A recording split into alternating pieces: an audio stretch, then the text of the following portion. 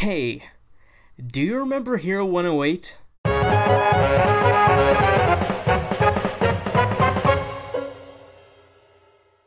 Hero 108 is a Chinese, American, British, Canadian, goddamn everything knees animated television series created by Yang Ming Tong and aired on Cartoon Network and Kabillion. It's a really obscure animated series that I see practically no one talk about these days, not even in my Lost Media video that I mentioned it in. A lot of people knew the other entries, especially Baby Maker, but no one seemed to know what this show is. But I suppose I'll have to be the one to answer the question of what it is, so without further ado, let's get on with the review.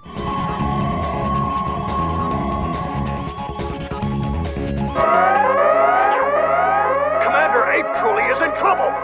First squad, deploy!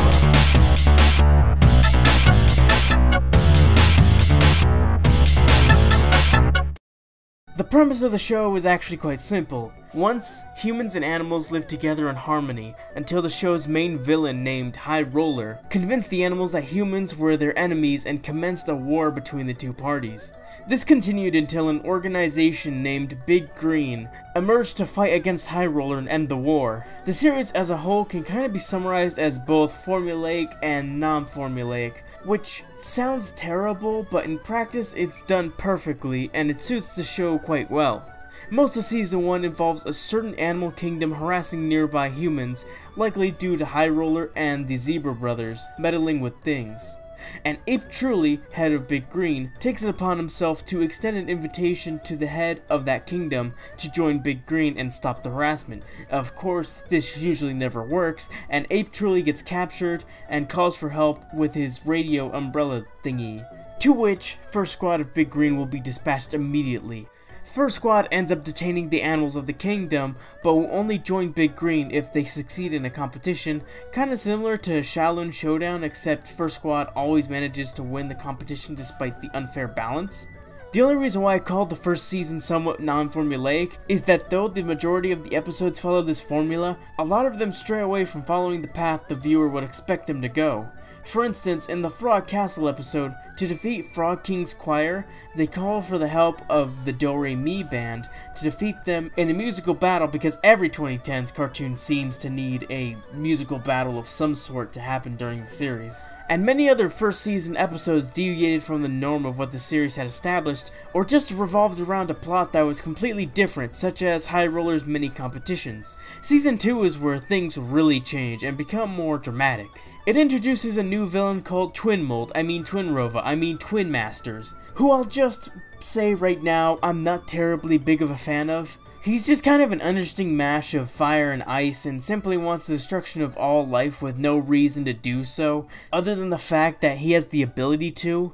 High Roller is by no means an outstanding villain, but he at least had qualities that made him a conniving snake that was fun to follow sometimes. Twin Master simply doesn't compare, especially when compared to the other characters of the series. I think one of Hero 108's biggest strong suit, if not its strong suit, is its vast array of characters. I don't know why, but I seem to be naturally attracted to pieces of media that center around a large group of entities who fall under one title. Stuff like Hero 108, Kids Next Door, Pokemon, Persona, the US government. Each member of First Squad has a variety of different abilities at their disposal, which more often than not seems to be useful in taking down enemies so long as they are used wisely.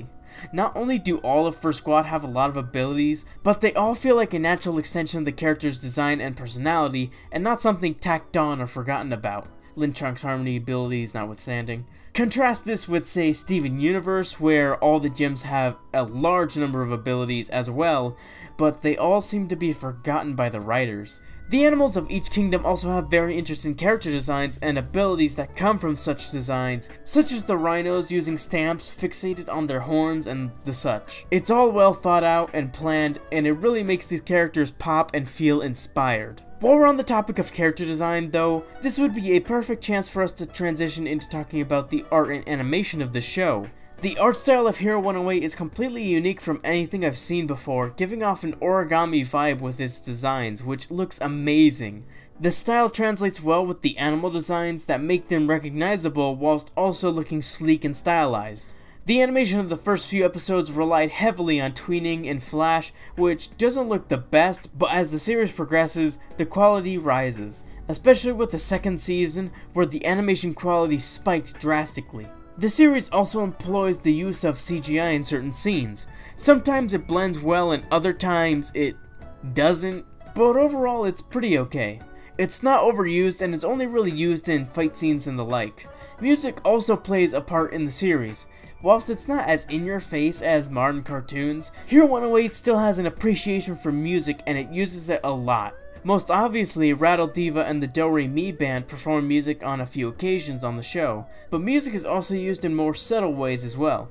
The theme that plays when Ape truly calls for help is a staple of each episode and is arranged in different ways throughout the series and is composed well. Whenever Mighty Ray uses an electrical attack, a guitar riff and drum beat plays, emphasizing his more radical and more rash nature. When emphasis is placed on Lin Chung, the music is tranquil, featuring Asian wind instruments, and the Big Green Turtles even have their own theme that complements their aquatic nature. A show doesn't need to constantly shove in musical segments with characters singing in order for it to effectively use music to set its mood, and Hero 108 illustrates this perfectly.